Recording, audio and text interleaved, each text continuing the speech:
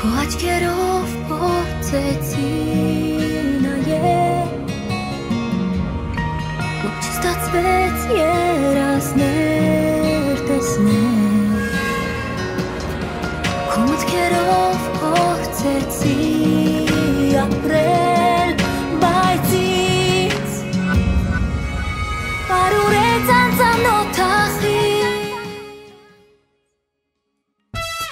Այցելեք Երևան Պոկեր այսօր։ Պոկերի առաջին հայկական ակումբը ինտերնետում։ Երևան Պոկեր։ Մենք փնտրում եւ պատրաստում ենք հաղթողների։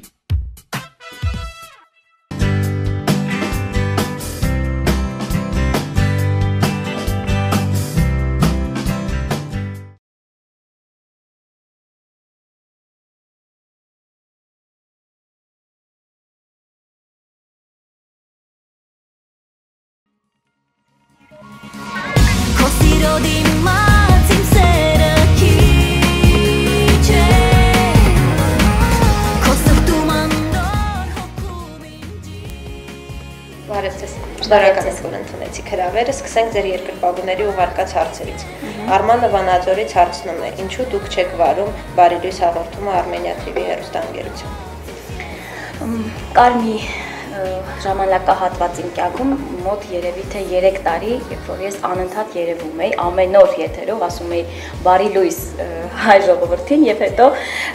հաջորդաբար բարի ահորժակ էի ասում եւ մաղթում բոլորին։ Վերջերս հասկացա, որ ինչ որ պետք է կորել, այսինքն ես առաջնահերթ երգչուհի եմ եւ ոչ թե հաղորդավարուհի եւ այդ պատճառով որոշել եմ մի քիչ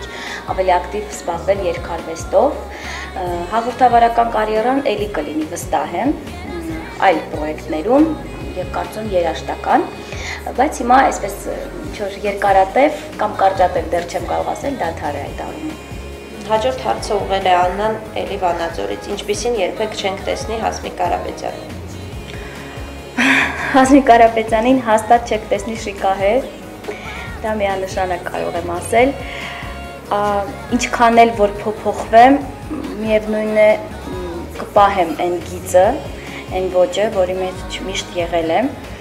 ստեղծագործել եմ, որովհետև ես կարծում եմ, որ մեզ մոտ, այսինքն Հայաստանում շատ կտրուկ փոփոխությունները սովորաբար չեն հաջողվում եւ հաջողություն չեն բերում տրվալ արվեստի մարդուն։ Մի խոսքով ես կարծում եմ, որ արդեն բոլորի համար པարզ են իմ սահմանները, որպես երկչուհի, որպես բեմի մարդ եւ հաստատ շատ կտրուկ փոփոխությունների թող չսպասեն։ Գարուշը Նյու Յորքից հարցնում է. Երբևս մտածել եք, եթե չդառնայիք երգչուհի, ինչով կզբաղվեիք եւ ինչու։ Շատ եմ մտածել այդ մասին եւ ինքս ինձ համար գտել եմ 3 պատասխան։ Առաջին պատասխանը դա միանշանակ դերասանուհին է, որովհետեւ ես հիշում եմ, երբ որ փոքր էի, ինձ երբ որ հարց էին տալիս, որ մեծանաս ինչ ես ուզում դառնալ, ասում էի Հոլիվուդի աստղ։ Չգիտես ինչի, ես ինձ ավելի շատ դերասանուհու կերպարում էի պատկերացնում բայց հաջորդ երկու մասնագիտություններն են աչքի բժիշկ, չգիտես ինչու, եւ երրորդը հոգեբան։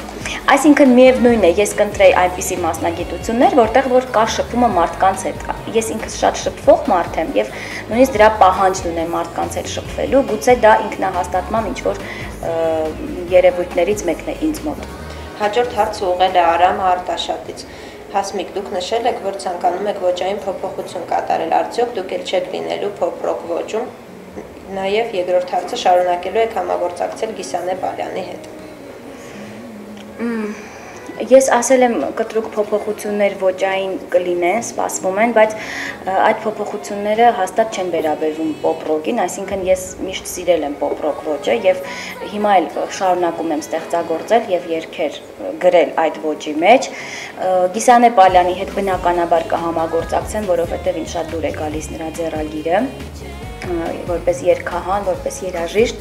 բայց այս 1 տարվա ընթացքում ես ինքս էլ երգեր եմ գրել հենց ռոքային ոճում։ Այսինքն ինչքան էլ ես երգեմ ռոքային ոճում, ես չեմ համարում, որ դա այն ծանր, այն ռոքն է, հա, որ մենք գիտենք, լսել ենք, ասենք միջազգային երգերի մասն է, խմբերի մասն է խոսքը։ բայց որոշակի փոփոխություններ ոչ այն սպասում են այն առումով, որ ես որոշել եմ ավելի շատ ռիթմիկ երգեր մատուցել իմ երկրպագուներին եւ առհասարակ հանդիսատեսին, որովհետեւ վերջերս զգում եմ այդ տենդենսը, մարդիկ հոգնել են տխրելուց, հոգնել են լաց լինելուց, այդ մելանխոլիկ թաղծոտ տրամադրությունը, որը միշտ տիրել է իմ երգերում, հիմա մի քիչ փոփոխում եմ, ավելի ակտիվ, ավելի ուրախ եւ կտրուկ դեմ եմ, սկսել եմ դեմ լինել տխուր տեքստերին նույնիսկ։ Հիմա խոսքերին էլ եմ շատ մեծ ուշադրություն դարձնելու, որովհետև ասում են խոսքերը, թեկուզ եւ երգերի խոսքերը ինչ որ ձևով պարունակում են ծրագիր։ Եվ եթե դու անդադ տխուր երգերի մասին ես երգում, չէ, ասենք ինչ որ տխուր սեր, անփոխադարձ սեր կամ ինչ որ ընդհատված սեր, այդպես էլ լինում է։ Չգիտես ինչի ես հակված եմ քիչ թե շատ հավատալու դրան այդ ասվածին եւ վերջերս որոշել եմ միայն դրական լիցքերով լի երգեր մատուցել։ Վլադիմիրը Մոսկվայից հարցնում է. Դուք պատրաստվում եք հետագայում մասնակցել Եվրատեսիլին։ Ես շատ եմ պլանավորել իմ կյանքում, ասենք եթե ետ նայեմ, անցյալում շատ եմ պլանավորել իմ ծրագրերը ստեղծագործական եւ այլ եւ այլ, բայց հասկացել եմ, որ դա շատ սխալ է։ Ա, Ինչպես ասում են, мы предполагаем, Бог располагает։ Мы рас- мы предполагаем, Бог располагает, ճիշտ ասացի։ Ա, Փաստորեն,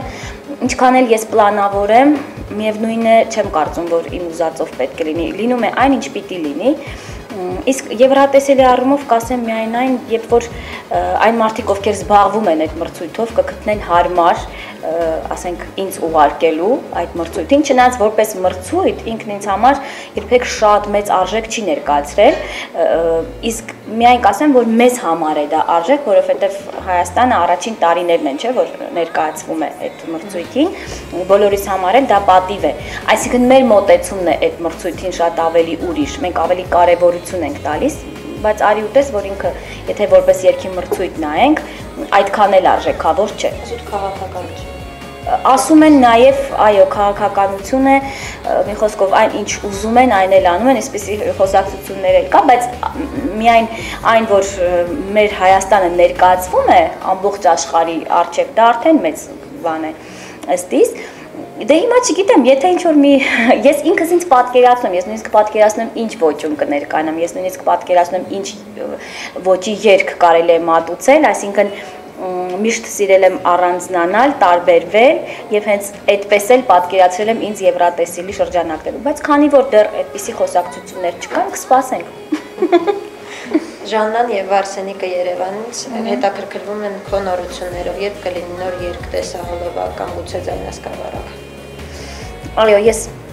ինձ ինչ որ չափով մեղավոր եմ զգում իմ երկրպագուների առջև, որովհետև 1 տարի է ոչ մի նոր երկ, նոր տեսահոլովակ չեմ մատուցել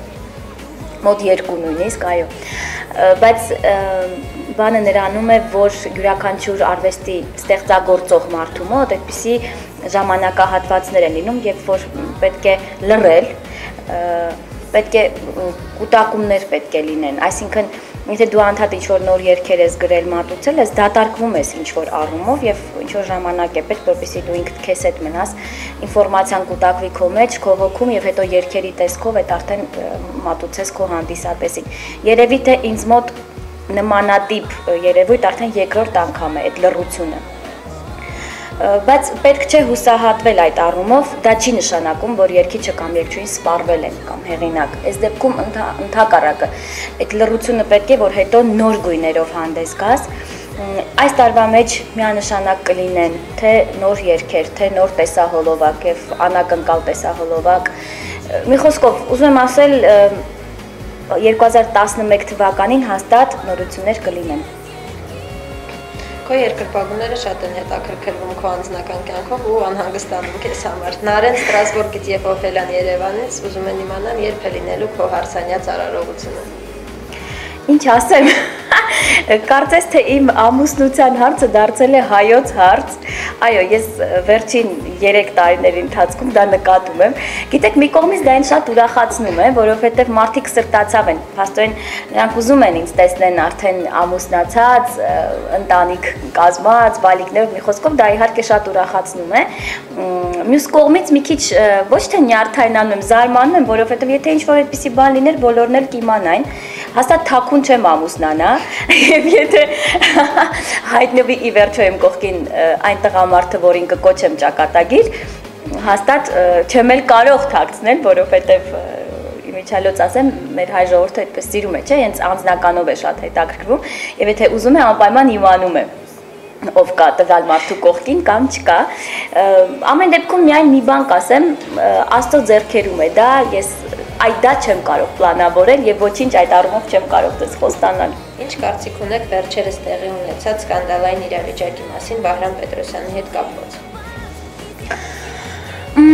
Շատ տարբեր կարծիքներ կան այս առումով։ Ես Վահրամին իմ գոլեգան եմ համարել միշտ, շատ սիրում եմ նրան, որովհետև գիտեմ, թե ինչքան տաղանդավոր երաժիշտ է։ Այսինքն այն երաժշտությունը, որ ինքը հիմա ստիպված մատուցում է, ստիպված ասելով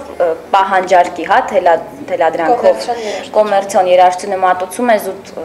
գումար վաստակելու համար ապրելու, դա ինձ չի խանգարում, որ ես Վահրամն իմ աչքից ընկնի կամ եւ այլն, գուցե ես համաձայն չեմ շատ-շատ երկերի հետ իր գրած, զուտ այդ կոմերցիոն երկերի հետ, բայց դա իմ սուբյեկտիվ կարծիքն է եւ դա իմ գործը չի ես էլ գնում եմ, ասենք, Armenia TV-ում հաղորդում եմ վարում զուտ նույն նպատակներով, այսինքն գումար վաստակելու նպատակներով։ Բայց մի բան ուղակի կասեմ, որ Վահրամը կարող էր նույն բանը ինչ որ ասել էր, շատ ավելի ուրիշ ձևով մատուցել, այսինքն նույն իմաստը նա կարող էր այլ կերպ արտահայտել եւ ոչ մի խնդրեմ չէր լինի ուղղակի մի քիչ պետք էր խոսելուց առաջ մտածել։ Ես եւ ես վստահ եմ ինքը չի էլ մտածել, այսինքն ինքը այնքան անկեղծ ամիջական մարդ է, այդ պահին գուցե ինքնապաշտպանողական, հա, այդ վիճակից ելնելով ինքը խոսել է, մի քիչ կոպիտ է խոսել, բնականաբար, որովհետև շատ շատերի համար անընդունելի էր նույնիսկ այդ բարերը, այդ բարակապակցությունները, որոնք նա արտահայտեց, բայց ամեն դեպքում կարծում եմ ամեն ինչ հարթվել է եւ բոլորն էլ կհասկանան, որ դա ուղակի խոսքի խաղ է եղել եւ ոչ մի թույն չկա նրա սրտի մեջ։ Ես վստահ եմ։ Եվ վերջում մեր արդեն ավանդույթ դարձած հարցը ինչ եք ցանկանում հայտանոտ կայքին եւ նրա այցելուներին։ Ես բնականաբար առաջին հերթին ցանկանում եմ երկար-երկար ստեղծագործական կյանք, շատ լավ գործ եք անում, որովհետև ինչքանով որ ես հասկացել եմ, կարող կարողացել եք եւ կարողանում եք համախմբել բոլոր երկրպագուներին, ովքեր նույնիսկ իրար են սկսում ճանաչել, ինչ որ սուր անկյուններ եք ստեղծում, բանավեճեր եւ այդ ամեն ինչը նշանակում է, որ հայ ֆանատը ապրում է, հայ ֆանատում կյանք կա։ Ամենալավն ու բարին ձեզ եւ երկար-երկար ճանապարհ։